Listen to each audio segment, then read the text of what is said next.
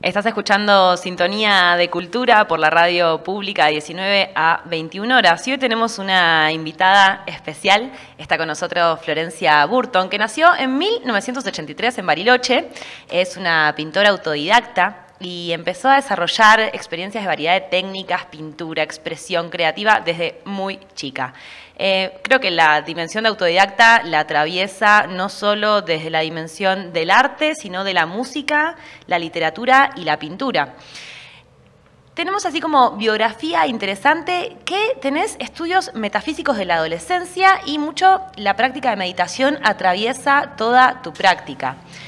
A los 25 años eh, sentiste que tuviste como un giro, ¿no? De alguna manera, que, te permitió darte de lleno a, la pasión que tiene que ver con, tu profesión.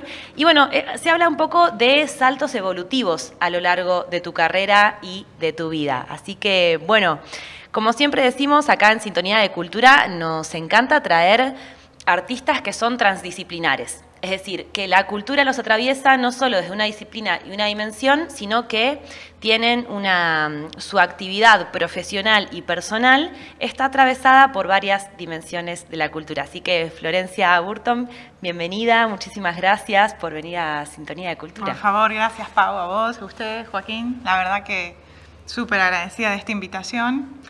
Me encanta, me encanta la presentación que me acabas de regalar. Y sí, eh, la verdad que es eh, bastante interesante lo que fui vivenciando a, lo largo de, mi carrera, si le podemos llamar así, de, lo que es el camino de la vida, ¿no?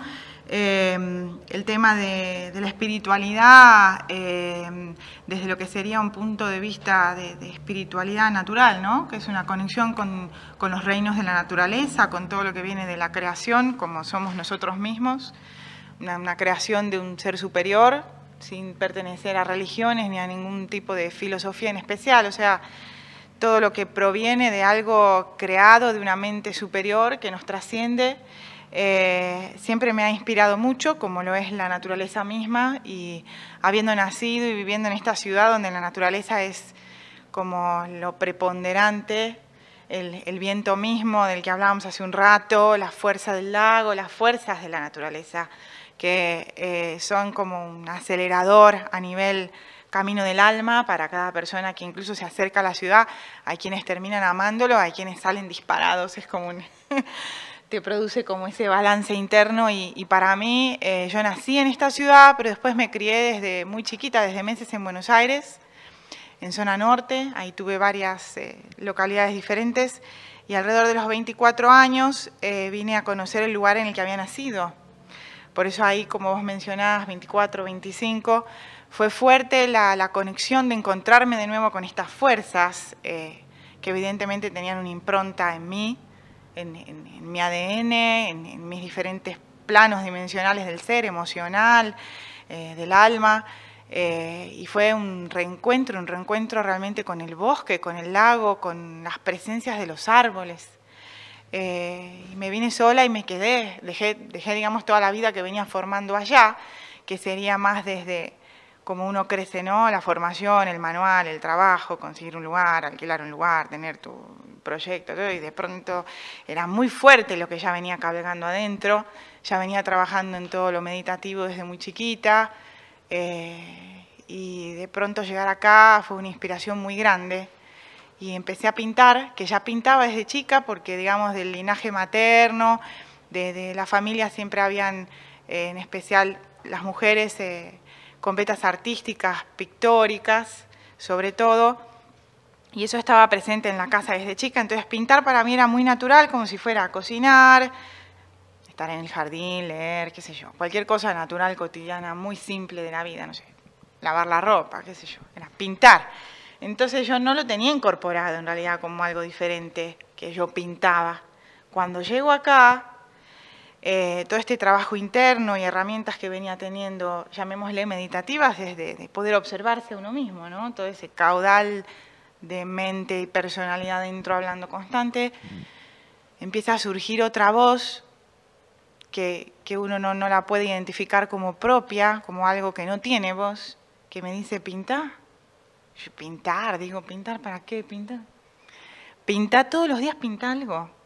Y en ese momento yo no tenía un mango, o sea, con decirte que, que había estudiado un poco de los libros de Rapoport, de Eduardo Rapoport, que eh, tenía la oportunidad de, tuve la oportunidad de estar con él y que me lleve a recorrer algunas zonas y terrenos baldíos, por ejemplo, de Melipal y, y ver las diferentes hierbas que se podían comer. Y bueno, yo estaba bastante, un, 50% me venía alimentando de, los yuyitos que recolectaba. Ese recorrido. Feliz, ¿no? Porque en ese momento yo estaba muy eh, independiente, uno, uno, uno, está viviendo como, digamos, soltera, sin, sin una responsabilidad de, de, sostener o criar hijitos. Y, entonces uno está con, con otra sensación más eh, liviana, ¿no? Y... Mm, empezaron a aparecer los elementos, empezó a aparecer pintura, había un señor que estaba vaciando la casa y empezó a tirar los fibrofáciles a la calle, eh, y empezaron a aparecer todas las cosas como para que esta voz que estaba dentro diciendo todos los días pintar, no importa qué. Y bueno, empecé a pintar, eh, siempre tenía algún pincelito conmigo, y en ese momento pintaba algo eh, muy diferente a lo que estoy pintando ahora, a lo que fue evolucionando, era geometría sagrada, eh, llamémosle también mandalas, pero con ciertas geometrías, patrones geométricos en especial, que están eh, basados con su fundamento en patrones matemáticos y geométricos de la naturaleza. Mm, me interesa preguntarte sobre eh, respecto a lo pictórico, desde la técnica, veo que tus cuadros tienen eh, me llamó mucho la atención, tenés como una serie que tiene muchas tonalidades de azules. Por un lado veo que tenés el celeste y el azul es como una tonalidad muy presente en tus obras, sobre todo en ciertas series más que en otras. Y también vi eh, mucha línea como terracota. Vi que trabajas también mucho los marrones, los rojos.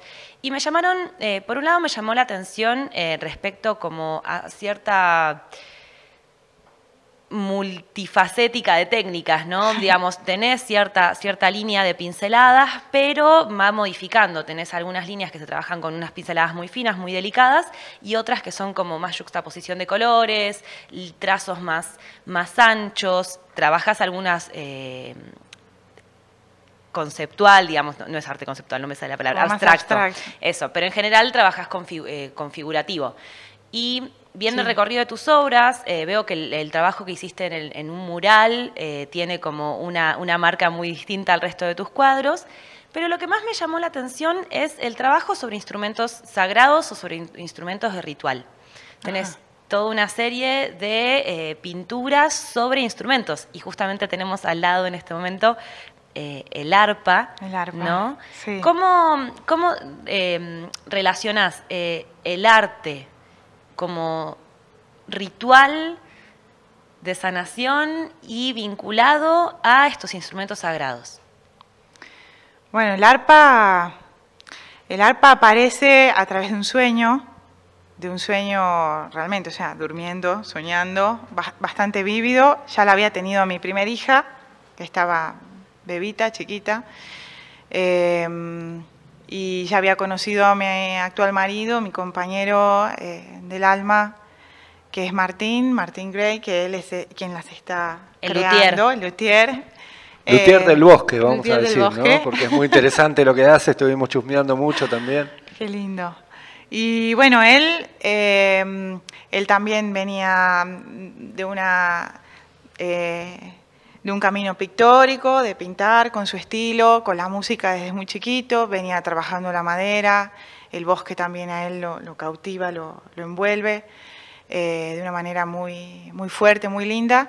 Y mm, como te contaba, eh, tuve un sueño muy vívido en donde yo veo un arpa, digamos, con, con mi familia desde chica no había músicos así, el protagonismo no era de la música en la familia.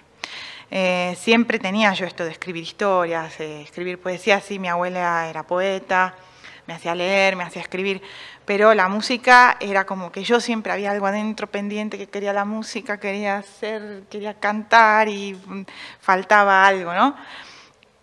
Y mm, eh, bueno, cuando ya tengo este sueño, estando con Martín, con mi primera hijita, donde veo un arpa, eh, toda una habitación oscura, se ve que habían cosas envueltas con sábanas, eh, como una habitación cerrada y había una luz en una pared y un arpa exactamente como esta, pero dorada, eh, apoyada sobre la pared.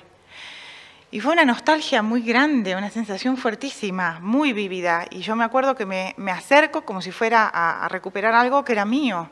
Y ahí despierto, me despierto llorando, llorando. Y cuando le cuento a Martín, bueno, en ese momento dijimos, vamos a averiguar cómo conseguimos un arpa. Eh, era realmente imposible traerla de afuera, estamos hablando de valores en dólares altísimos, eh, y era una arpa tipo celta, era lo que entendía yo por, por la curva que veía, por la punta que tiene en su diseño, eh, una arpa chiquita, tipo trovador. Eh, bueno, con el tiempo él empieza a hacer artesanías en madera, no conseguíamos el arpa, y finalmente dice, yo voy a tratar en algún momento de hacerte una yo.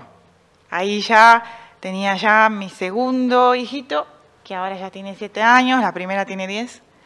O sea, fueron pasando los años. Y yo sentía la sensación de las cuerdas en las yemas de mis dedos, era un recuerdo, sin haber visto en vivo nunca un arpa de nada, o sea, solo en películas.